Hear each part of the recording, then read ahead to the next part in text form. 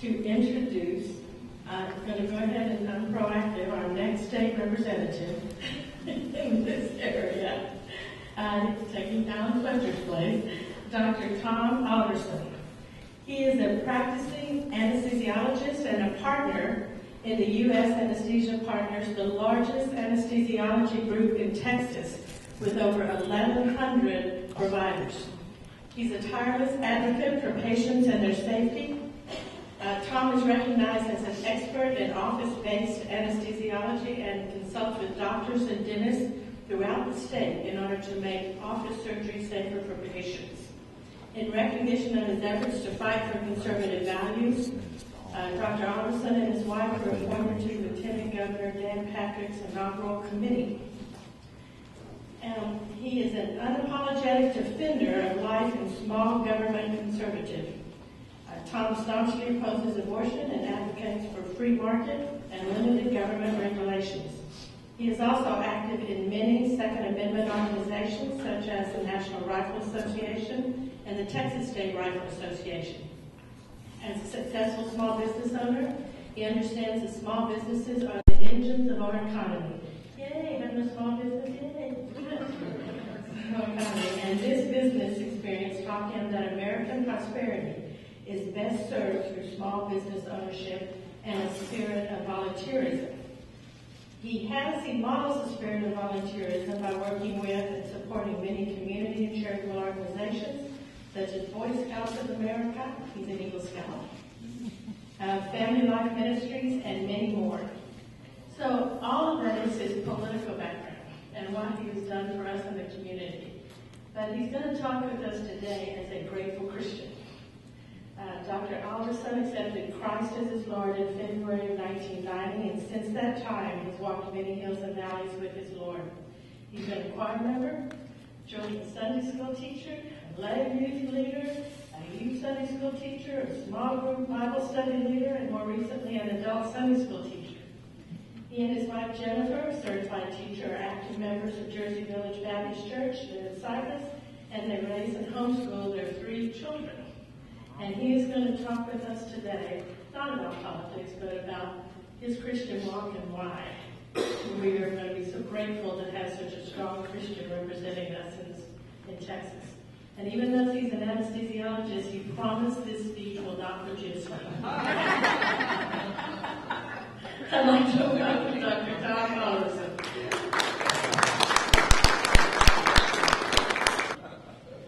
Well, thank you, Lori. I appreciate the kind introduction, and I appreciate all of you for coming out today and giving me this opportunity to talk to you about something that's obviously very near and dear to my heart, and that's my faith as a Christian.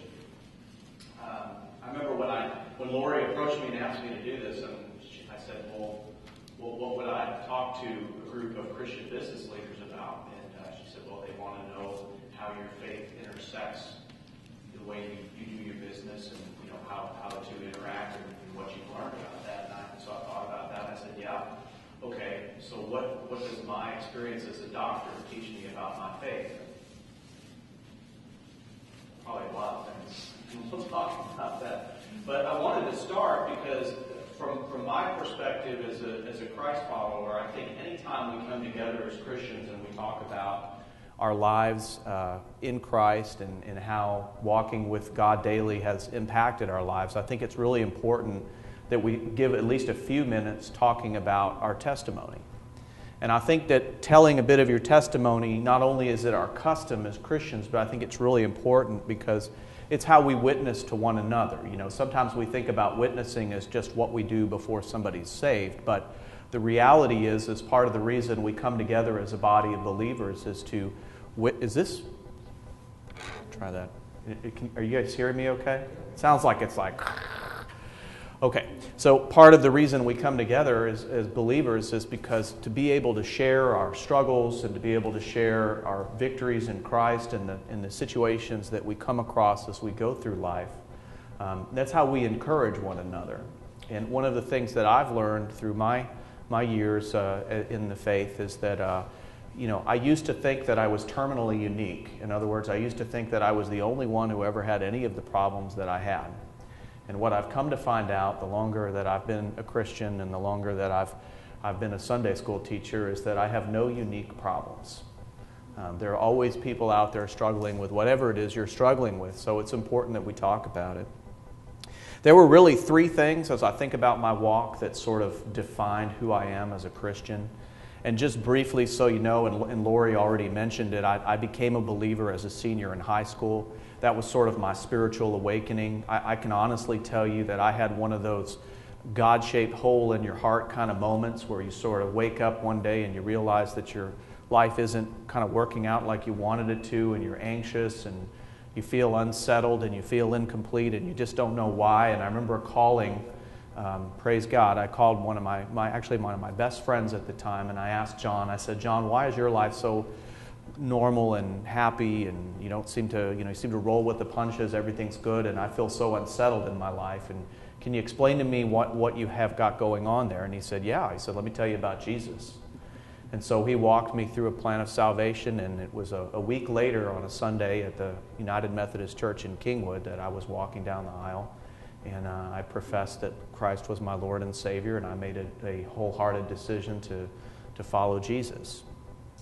And so, uh, obviously, best day of my life, right? Or, you know, my wife's not here. She would say there were other best days of my life. But, but even she would acknowledge that that's the best day of every Christian's life, right? Everything was going along fine, um, but when I was in medical school, I had my second spiritual awakening and, and it kind of came on not, not as instantaneously as that first initial experience. It was more of a subtle thing, but I sort of found myself, I, I describe it as, was sort of in a rut, and I kind of felt like my life was unmanageable. Now, I'm sure it's not going to shock you that uh, somebody in the middle of medical school has an unmanageable life or a difficult life. Uh, the demands on a student doctors are pretty high, and um, you know, you get exposed to a lot of things like life, death, disease. You know, you start asking deep questions like, well, what is the meaning of life? And you see mortality for the first time up close and personal, and you realize how short life really is. And I just, I was just struggling, and I couldn't snap out of it. I, I had planned my life. I knew which way I wanted to go, and I got to this point in my life where it was just like I just kept hitting this wall, and I couldn't get over it, and life wasn't going in the direction that I thought it should go. And I was really struggling. And then, you know, I was talking with some friends about it and I was praying about it, and I realized that my problem was my relationship with God. I had fallen into um, what's actually a well known heresy in our faith, and that is the idea of deism, the idea of the watchmaker God. I had believed that uh, I had basically limited God. I had sold God short in terms of what He was capable of doing in my life and willing to do in my life. It had not really occurred to me up until that point that I could enlist God on a daily basis to help me with my personal struggles. I really honestly had this worldview where I felt like God had created me, God had given me abilities, uh, and it was up to me. You know, almost like how many of you had that electric football table when you were kids? Yeah, I see some people. Okay, so you know, you put the players on the field and you plug it in, and then you just kind of sit back and watch, right? And I remember, you know, that was kind of my word picture of my relationship with God was that He kind of set everybody on the table and plugged it in, and He was just sort of standing there watching us do our thing, you know, and I felt like it was all up to me. And when I realized, I, I started reading in Scripture and I came across a verse which I'm sure all of you probably know Jeremiah 29, verse 11. For I know the plans I have for you, declares the Lord plans to prosper you and not to harm you, plans to give you hope and a future. And then to that I also ran across Romans 8:28. And we know that in all things God works for the good of those who love him, who have been called according to his purpose. And I thought, you know, it may just very well be that God's as active in my life as I'm willing to allow him to be. And I had this second spiritual awakening. I remember getting on my knees and I said, God, I'm really struggling right now. And uh, I don't know how to save myself. I don't know how to get, you know, over the wall, so to speak. Um, but I believe that you can. I believe you have all power. And so I'm going to make a decision right here and now to turn my life and my will over to your care and your keeping. I'm going to stop worrying about where I go from here. And I'm just going to start doing the next right thing, and I'm going to leave the outcome up to you. And I can tell you unequivocally, I will never forget this as long as I live. I literally felt like 100 pounds came off my shoulder as shoulders as soon as I got done praying that prayer. I really, truly felt lighter, lighter spiritually. And it was an amazing experience. Um, and from that moment on in my life, I have really been in what I would consider to be a God centered universe. I really look at my role in my own life as being uh, secondary to God's leading in God's direction. The, the word picture now, instead of the electric football table that I use to describe my relationship with God, is two people in the rowboat. And the thing that I love about that particular word picture as I describe my faith and my understanding of how God and I interact in my life is that the person, if you've ever rowed in a boat, you know that the person that's doing the rowing, that's moving the boat through the water, cannot see the destination. They have their back turned to the destination. They don't know where they're going.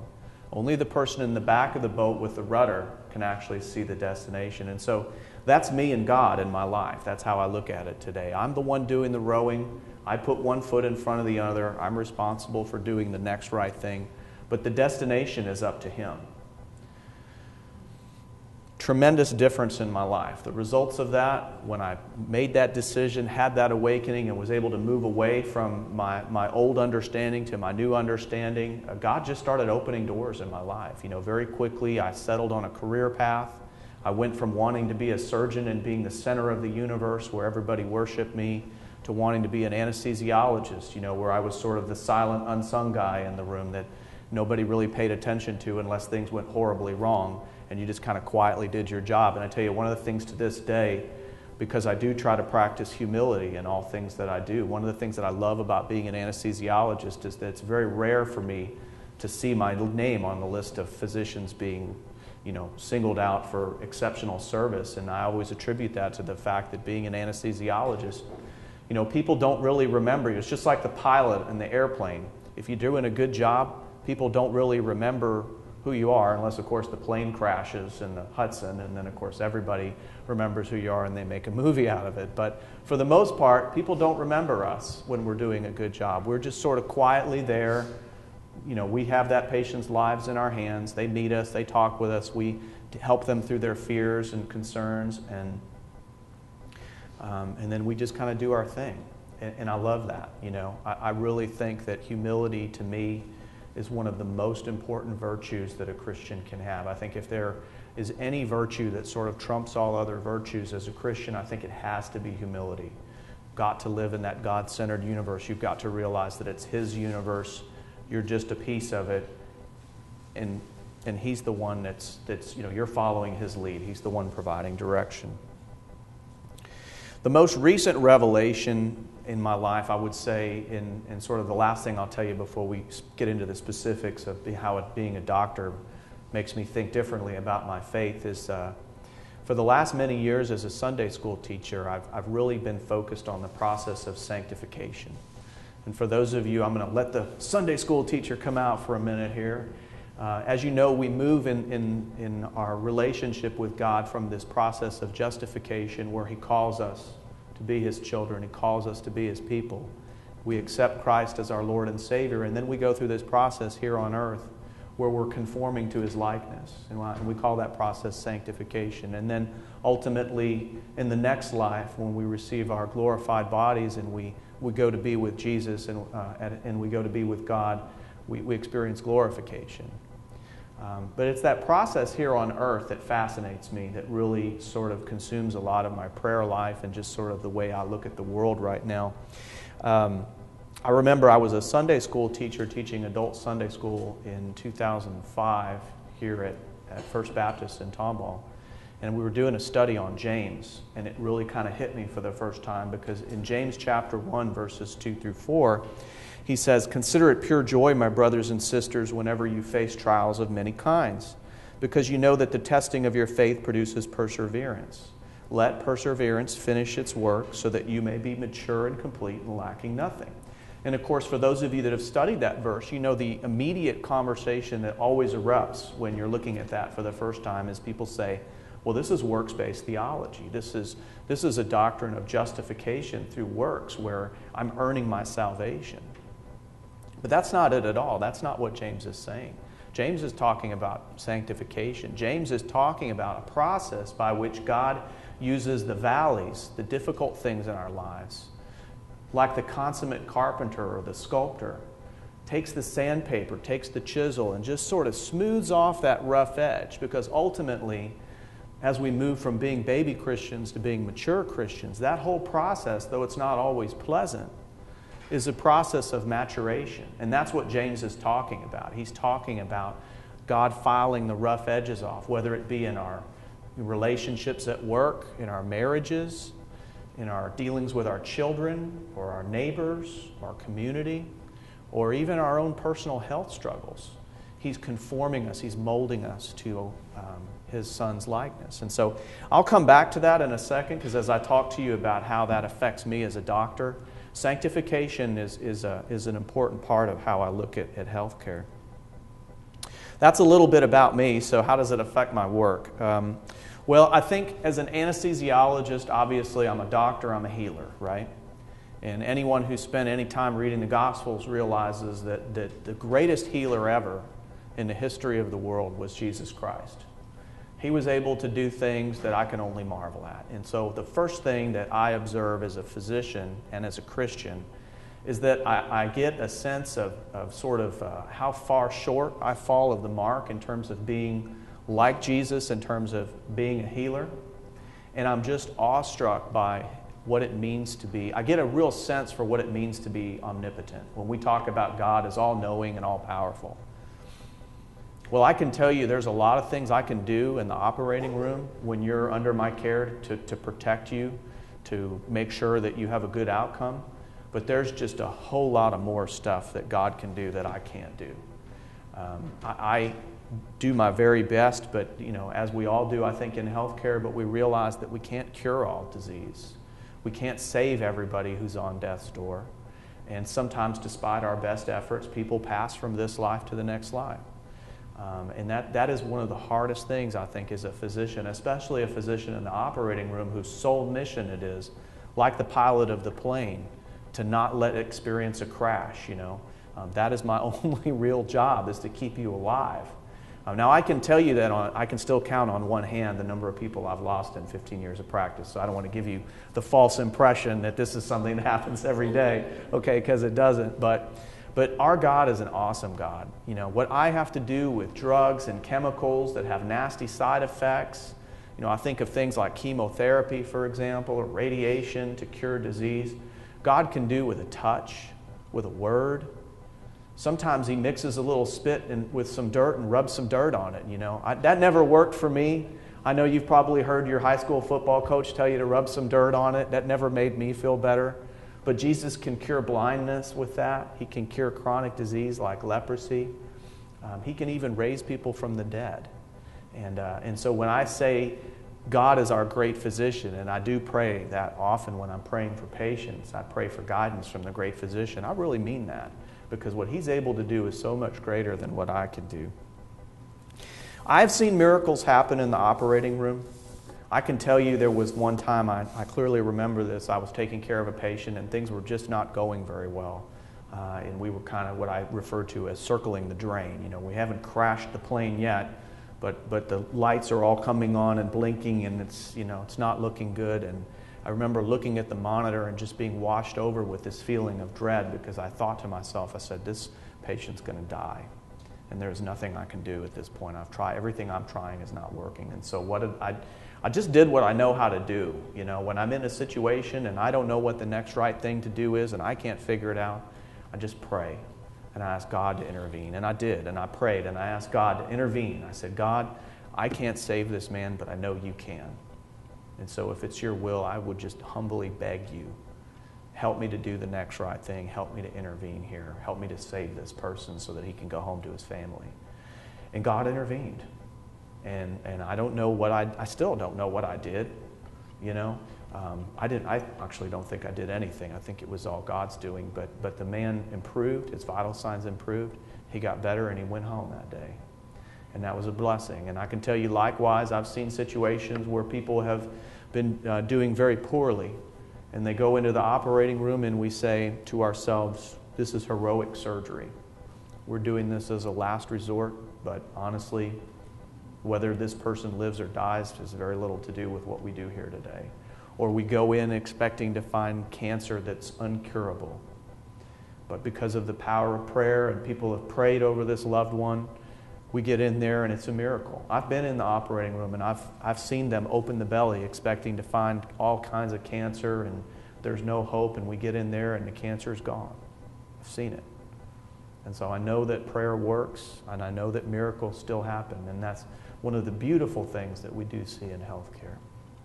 The last thing that I thought of as I was thinking about how healthcare and my faith intersect, and this is a little harder to articulate, but I think it's important because it gives us hope. It gives me hope in the difficult times when we, when we lose loved ones. And, and that is that just this idea, we come back to this idea of sanctification. I told you I'd come back to that. As a very young doctor working in the ICU in St. Louis, it, it always amazed me, often frustrated me, and, and really left me in a position of sort of questioning God's plan sometimes. To see people would come into the ICU and they'd have a rap sheet a mile long. They just shot a police officer, they'd been shot themselves. Um, and they would go through surgery after surgery, endure complication after complication. I remember one young man, he was in the ICU for two months. Had his colon removed, his part of his intestines, his liver, his spleen, you know, part of obviously not all of his liver, but part of his liver. Multiple operations, multiple infections, ended up getting a tracheostomy to breathe, a feeding tube to feed, severely deconditioned, and yet he pulled through. And two months later, he's being wheeled out of the ICU, and we're all so proud, all of us young doctors, we'd all taken care of him at some point. We said, Goodbye, Mr. Jones. Congratulations to you, sir. We hope that you, you, know, you, you heal well. And he didn't say a word, but he did manage to take the time as he was being pushed out of the ICU to raise his hand ever so slowly and, uh, and give us the one fingered salute. And I thought, what a cretin. And why is it that this guy gets to live? And yet, somebody who comes to the ICU who's a mother of three, grandmother of nine, beloved by her family, surrounded by her women's group and members of her church praying over her, a freak accident, a sudden stroke, a ruptured artery in the brain, and no matter what I do, everything just doesn't work. And it's so frustrating, and we end up losing her. And I say, God, that is just so not fair. Here's this person who is literally a, a plague on our society, and yet he's unkillable. Nothing we do does, harms him. It's like he's bulletproof and invincible. And yet, this sweet person who's got surrounded by family who love her, need her, want her to be restored to full health, you decide to take her instead. Well, I come back to James. Perseverance has finished its work so that you are mature and lacking nothing. And, and I can't prove this to you. This is sort of the Sunday school teacher branching out and and uh, proselytizing and, and coming up with his own ideas, but I choose to believe that in those moments, the reason why that guy lives and the reason why she doesn't live is because God calls her home. And the reason He calls her home is because she's run a race, she's stayed true, and perseverance has finished its work. Her process of sanctification is completed, and his is not. And so God has need of her. He's prepared a place for her as He's preparing a place for all of us. Her place is ready, her soul is prepared, and it's time to go home. And so I don't know if that is meaningful to you, if you've been in a situation like that, but if you find yourself in that situation, I would just ask you to consider whether or not the reason that you lost your loved one is because God was ready for her or for him to come home. And I know my personal experience is that I can't do anything to counteract God's will as a physician. Uh, his will is infinitely more powerful than mine. Well, that's how it affects me as a doctor. And, and I've, had, I've had conversations with several of you before, and I know you all want to know about my life as a politician or as a future legislative leader. And as, as Lori mentioned, I'm, I'm just beginning in this process, you know. Um, let me tell you briefly how I got involved in politics because uh, I think it's important. This was not something that I really ever saw myself doing. This was not part of my plan. Okay, as I mentioned earlier, I had my plans. That was not part of my plan. Uh, but over many years, I've had people tell me repeatedly, we need you to go into public service. You have the right heart, you have the right ethics, the right morals, the right values, and we need you. I remember there was one lady, her name was Liz. Her husband had served in the U.S. Congress for about 15 years. And God brought us together through a mutual friend, and she was sitting on the back porch of my house. We were watching her grandkids and my kids swim in the pool on the 4th of July in 2012. And she says to me, We need you to serve. This country needs you. And I said, Why? And she said, Because you have the right morals, the right ethics, the right values. I said, Yeah, I, have heard that before. But my problem is when I look around, when I look at Austin, when I look at, at Washington, D.C., I don't really see that. And she gets right in my face and she says, It's because people like you who have the ability to do this job and do it well refuse to stand up and sacrifice themselves is exactly why we have the people we have in Washington. Because if you won't do it, there are people who are willing to do it, but they don't share your values. So at the end of the day, it, you have only yourself to blame. Now, I'm a little slow, so I had to pray on that for a good two, almost three years. But finally, I did come to the conclusion that she was right and that that actually was what God was calling me to do. And it was funny because my wife, independent in her own prayer life and her own process, came to me almost the same time I came to that conclusion. And she came to me and she said, I really feel like God's calling our family into public service. I don't, can't explain to you why. I just, people keep telling me. I just feel, I said, you know what? That's it. It must be true because that's exactly what I keep getting too. So uh, we prayed together about it and we decided if that was God's will, I would be willing to serve in that way, but He would have to call me. He would have to open a door. And I can tell you that it was a very short time afterwards when my state representative announced that he wouldn't be seeking reelection. And I said, Well, God, I guess we're really doing this then. Um, and, uh, and that was kind of a nerve wracking experience. So, Colossians chapter 2, verse 8, a very important verse for me. As I think about my role as your state representative, as a Christian, and because I make no bones about it, I, I'm going up there to serve Him by serving you. And that's my primary function. And so there are certain things that I'm not willing to do just because they're expedient or because they sound like a good idea. And so Colossians chapter 2 verse 8 is really meaningful to me in this respect and I can promise you if you come visit me in Austin, you'll see it on my desk where I can see it no matter who I'm talking to and what conversation I'm engaged in. Colossians chapter 2 verse 8 says, "See to it that no one takes you captive through hollow and deceptive philosophy, which depends on human tradition and the elemental spiritual forces of this world rather than upon Christ." Now, the Sunday school teacher is going to come out again for a second here. I hope you all don't mind. But there's two parts to that verse which are incredibly impactful to me and very meaningful as a public servant. One is when it talks about those spiritual forces. We have to understand who those forces are. Folks, whether you realize it or not, we live in a world where the struggle is a struggle between good and evil. Ephesians chapter 6 verse 12 says, "For our struggle is not against flesh and blood, but against the rulers, against the authorities, against the powers of this dark world, and against the spiritual forces of evil in the heavenly realms. There's that word choice again spiritual forces. Folks, I know that the devil is real. And I know that his plans for our country and for our state are very different than God's plans. And I have volunteered to go directly to the front line to fight in that battle. Martin Luther once said that where the battle is waged, there is the loyalty of the soldier is tested. And I have volunteered to go right into the thick of it. But I know that dark forces don't want me to succeed. They do not, the devil does not want for our country to be a God fearing nation anymore. In fact, the devil doesn't want us to pray, not in our schools, not in our school board meetings, not anywhere. And even still, even though today we still have that First Amendment protecting us, you see people, particularly progressives, chipping away at that, saying, well, it's not really freedom of religion, is it? It's freedom to worship. And after all, you worship in your church or your synagogue, so don't bring that stuff out into the public square. Don't bring that to work with you. We don't want to hear it. Forces of darkness.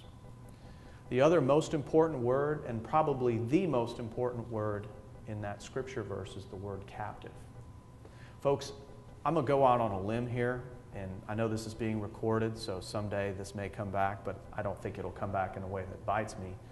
I'm just going to tell you that I personally don't believe that our president is a born again believer. But I don't think he's evil either. I think he's a captive.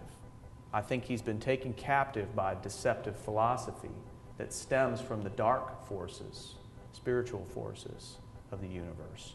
He's part of that battle too, but he's on the other side and he doesn't know it. Because he's a captive, he thinks what he's doing is right.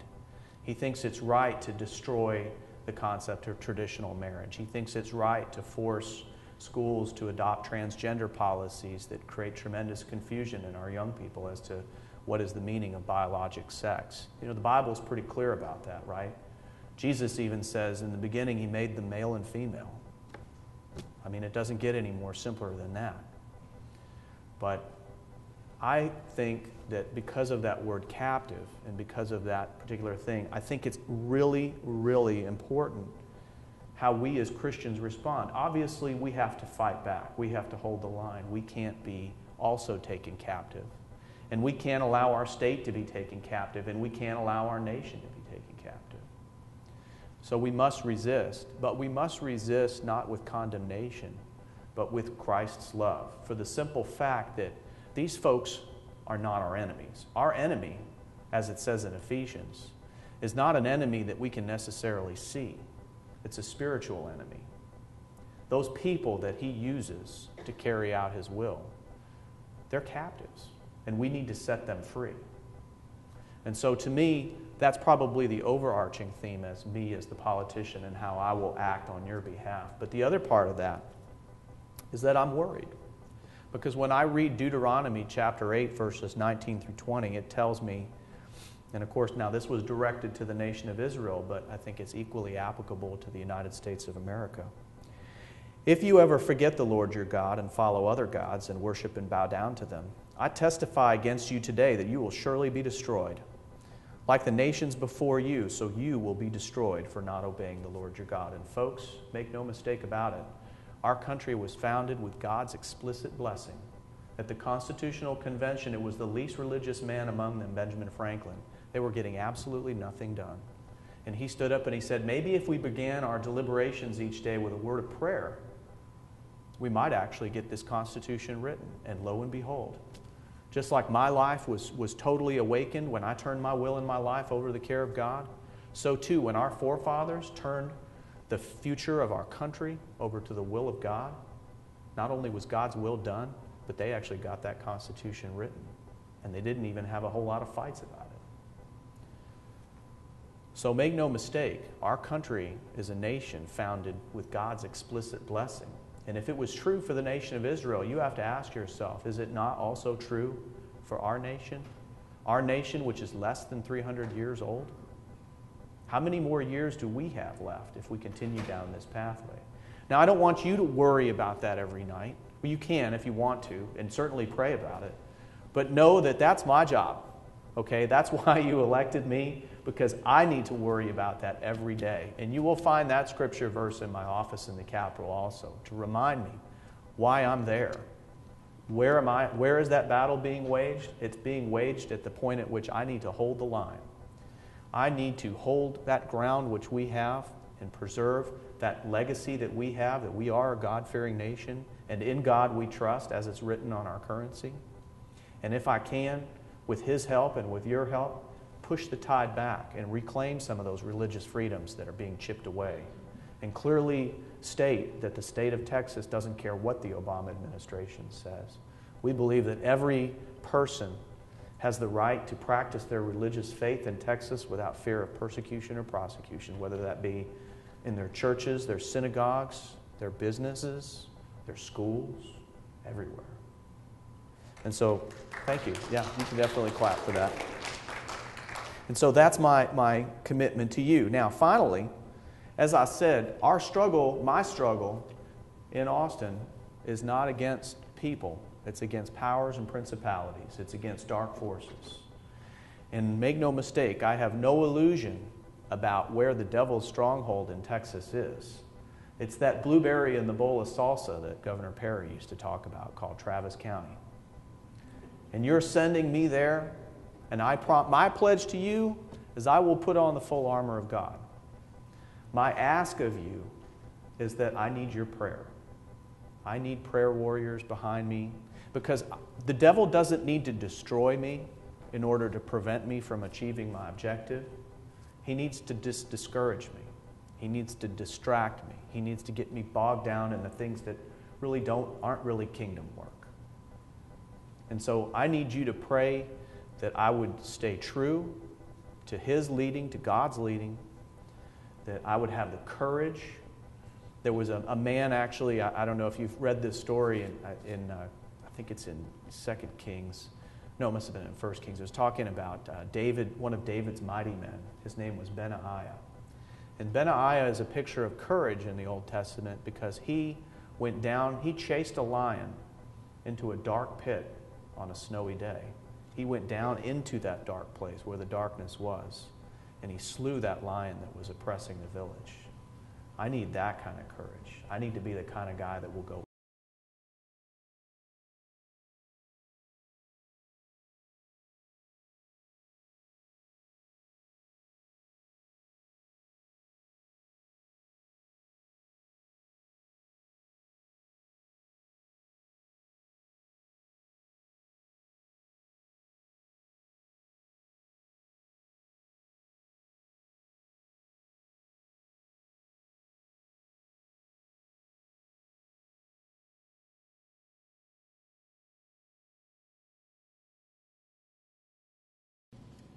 way?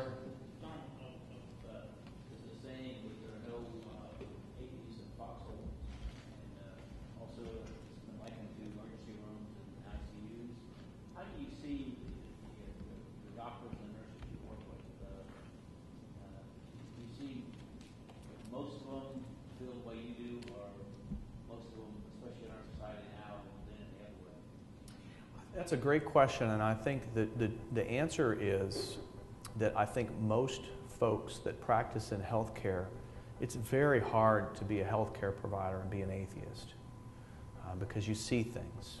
And it's not just the miracles that you see, but it's also the wondrousness of God's creation. You know, we talk about in intelligent design, for those of you that have read on intelligent design, we talk about this concept of irreducible complexity. The idea that a structure, a, a, an organ, for example, and I think the, the one that's commonly thrown out is the eyeball. The eye cannot function without all of its pieces working properly together in unison. And so it's a poor metaphor for evolution because it's one of these things that could not have developed slowly over millions of years. It has to all be there all at one time. If even one piece is missing, it, it's non functional.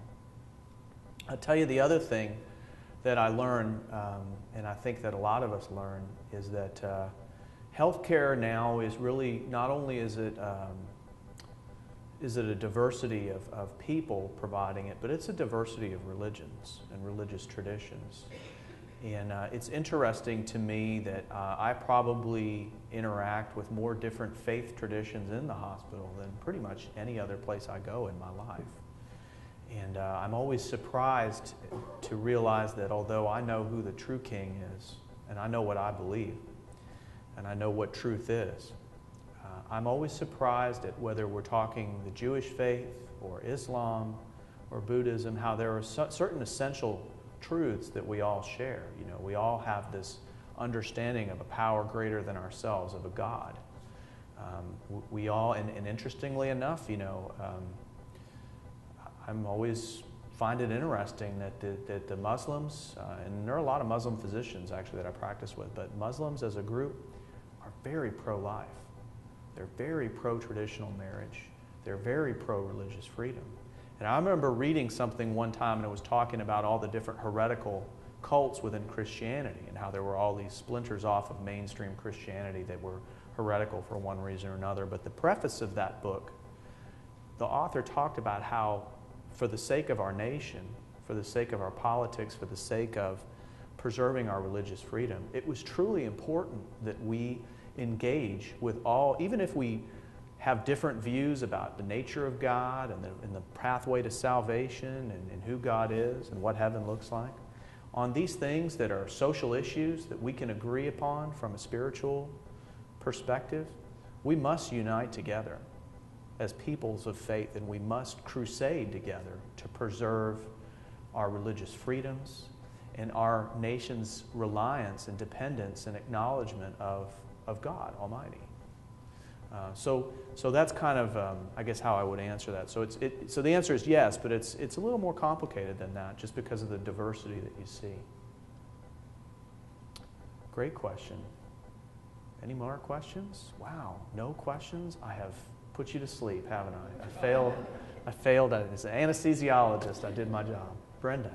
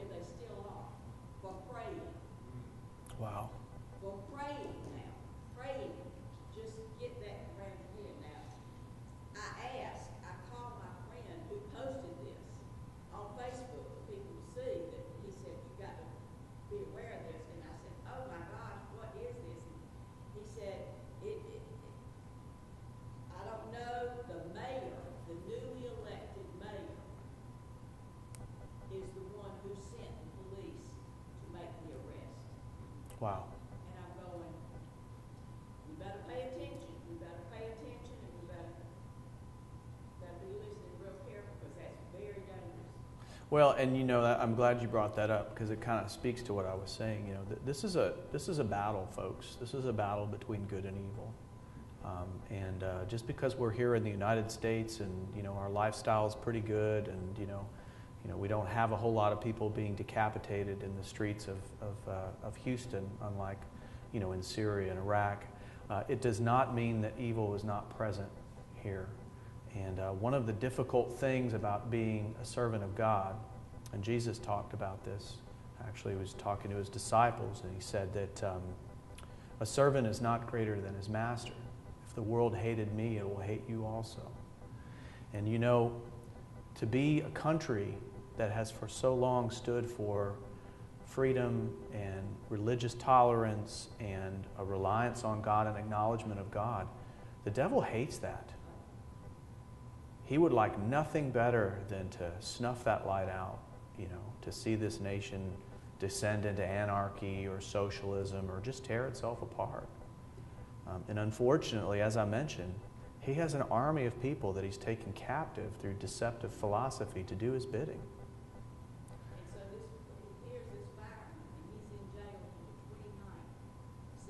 Mm-hmm. In jail for praying. And, and no doubt in my mind that that mayor believes that he's doing the right thing because he's been taken captive. You know, he honestly thinks he's doing the right thing by putting this firefighter in jail. And folks, I mean, that's, that's really where it is. You know, Martin Luther was right. Uh, we, have a, we have an opportunity to go to where the battle's being waged and have our loyalty tested or we have an opportunity to just stay at home and you know make make sharp words at the television and say that ain't right. Go to church on sunday and just leave it at that. Now that's one of the reasons why i'm, I'm here. I'm asking for your help your support your prayers. Uh, i'm willing to fight that battle. I'm willing to represent you in austin in that respect but i would encourage each and every one of you to take up your cross as well because it's going to take a lot of us. We got to turn this tide back. We have sat by idly for so long as a Christian nation. You know, I had a chance to meet with Donald Trump and a group of another, about 100 other, actually probably more like 1,000 other Christian leaders in June. Some of you may have heard about this. I, I wrote about it on my, on my, my Facebook page. I, I wrote a little article, you can find it. But Donald Trump, for all of his difficulties, is very shrewd when it comes to the issue of religious freedom. He said, The single most important thing I can do to restore the balance and give the power back to the people and churches and restore our faith in God is to repeal the Johnson Amendment. Y'all familiar with the Johnson Amendment? Senator Lyndon Johnson passed an amendment, I think it was in 1951. Uh, basically, what it did was it, um, it threatened the tax exempt status for any 501c that would speak about political matters, that would, that would use political advocacy as part of its message. And so, uh, if you're a organization like Planned Parenthood, you say, that's fine. I'll just form a different not for profit that's, quote, political action committee, and I'll talk about my politics all day long, and then I'll have my not for profit over here. So, who does the Johnson Amendment really hurt?